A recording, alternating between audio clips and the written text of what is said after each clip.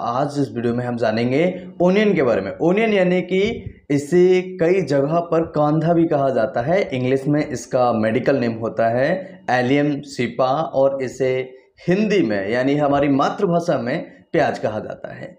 आमतौर पर प्याज के कई सारे उपयोग होते हैं। हम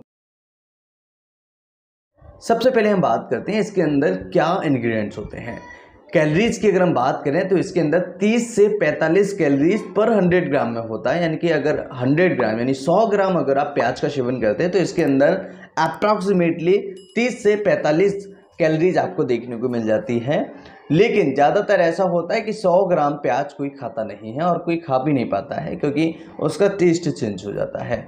बेसिकली प्याज हमें तीन चार तरह की देखने को मिल जाती है। सबसे पहला रेड होता है, दूसरा ग्रीन और तीसरा होता है वाइट जिसमें भी अगर आप नेचुरल उसे लेना चाहें तो आपने देखा होगा जब खेतों में प्याज होती है तो उस समय पर प्याज ग्रोइंग फ़ेज़ में होती है और उस टाइम पर अगर आप प्याज खाते हैं तो उसका जो निचला हिस्सा है, यानी जो प्याज है, वो बिल्कुल अलग प्रकार की होती है और ऊपर का जो हिस्सा होता है, जिसे हम पत्तियाँ कह सकते हैं, वो अलग प्रकार के होते प्रॉपर ग्रीन होती है और इसके भी कई सारे बेनिफिट्स होते हैं।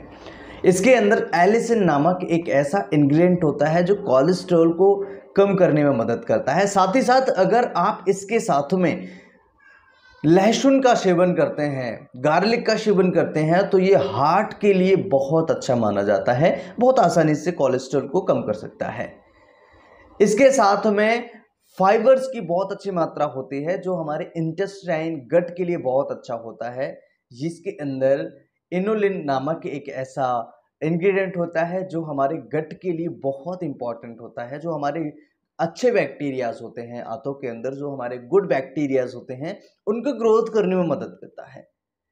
एज ए प्रोबायोटिक्स के रूप में आप इसे ले सकते हैं, बहुत अच्छा काम करता है हमारे गट के लिए। इसके अंदर बहुत अच्छी मात्रा में हड्डियों को मज़बूत करने के लिए जो हड्डियों के कॉलेजेंस होते हैं, उनको मज़बूत करने के लिए इनुलिन पाया जाता है, जो बहुत इंपॉर्टेंट रोल प्ले करता है। इसके अंदर फ्लेविनोड पाया जाता है, जो हार्ट के लिए ब्रेन से रिलेटेड बीमारियाँ कैंसर जैसी प्रॉब्लम्स के लिए। और कई सारी, जैसे डायबिटीज़ से डिजनरेटिव प्रॉब्लम्स होती हैं, उनको प्रिवेंट करने में बहुत ज़्यादा मदद करता है। साथ ही साथ इसके अंदर बहुत अच्छी मात्रा में विटामिन सी पाया जाता है, जो हमारे स्किन के लिए बहुत अच्छा होता है।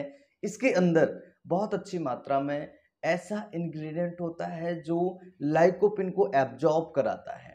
अब लाइकोपिन एक ऐसा एंटीऑक्सीडेंट होता है जो हमारे हार्ट के लिए किडनी के लिए ब्रेन के लिए लिवर के लिए ऑल ओवर बॉडी के लिए बहुत इंपॉर्टेंट होता है। हमारे बुढ़ापे को कम करता है, बुढ़ापा नहीं दिखने देता है और हमारी स्किन को जमा रखने में मदद करता है। जॉइंट्स के लिए बहुत ज़्यादा हेल्पफुल होता है। तो ये लाइकोपिन जो होता है ये एब्जॉर्ब अगर आपको अच्छा कराना हो आपकी बॉडी में तो आप प्याज का सेवन कीजिए। और लाइकोपिन सबसे ज़्यादा टमाटो के अंदर पाया जाता है, जो हार्ट के लिए बहुत अच्छा होता है। आपने बेसिकली देखा होगा, जब हम टमाटो को काटते हैं, उसके अंदर चार चैम्बर पाए जाते हैं। चार चैम्बर एज ए हार्ट की तरह। तो ये हार्ट के लिए टमाटो बहुत अच्छा पाया जाता है लाइकोपिन इसके अंदर पाया जाता है, जो कि हमारी ऑल ओवर हेल्थ के लिए बहुत अच्छा माना जाता है। इसके अंदर बहुत ही अच्छी प्रॉपर्टीज़ में ऐसी चीज़ें पाई जाती हैं जो कैंसर से प्रिवेंट करती हैं और हार्ट्स की बीमारियों से प्रिवेंट करती हैं वोन्स की बीमारियों से प्रिवेंट करती हैं ब्रेन की बीमारियों से प्रिवेंट करती हैं और कई सारी ऐसी प्रॉब्लम से बचाती हैं। साथ ही साथ इसके अंदर कई ऐसी चीज़ें पाई जाती हैं जो हमारी स्लीप के लिए बहुत अच्छा होता है। अगर किसी को नींद नहीं आ रही हो, अगर किसी को स्लीप की प्रॉब्लम हो, स्लीपिंग डिसीजेस हो, प्रॉब्लम्स हो, नींद अच्छी नहीं आती हो तो ओनियन यानी कांधा का यूज़ कर सकते हैं, प्याज का यूज़ कर सकते हैं, एलियम शिपा का यूज़ कर सकते हैं। तो बहुत ही अच्छे तरीके से ये हमारी बॉडी के लिए हेल्पफुल होता है। और आज इस वीडियो में हमने एलियम शिपा के बेनिफिट्स के बारे में बात की है। कांधा के बेनिफिट्स के बारे में बात की है कांधा के क्या फ़ायदे होते हैं कांधा खाने के फ़ायदे और नुकसान के बारे में हमने जाना है। नुकसान की अगर बात करें थोड़ा सा तो कांधा खाने के कोई ज़्यादा नुकसान नहीं होता है। इससे केवल आपको आँसू ज़रूर आ सकते हैं। जब आप खाते हैं तो आपको आँसू आ सकते हैं और जिनको गर्म गर्मबादी रहती है, उनके लिए भी थोड़ा सा नुकसानदायक हो सकता है। उनको भी गर्म गर्मबादी कर सकता है। राइट? इसके अंदर एलिसिन होता है, जिससे कि आपको आँसू आना स्टार्ट हो जाते हैं और बहुत सारी ऐसी प्रॉपर्टीज़ होती हैं, ऐसे केमिकल्स होता है, जिससे आँसू आना स्टार्ट हो जाते हैं।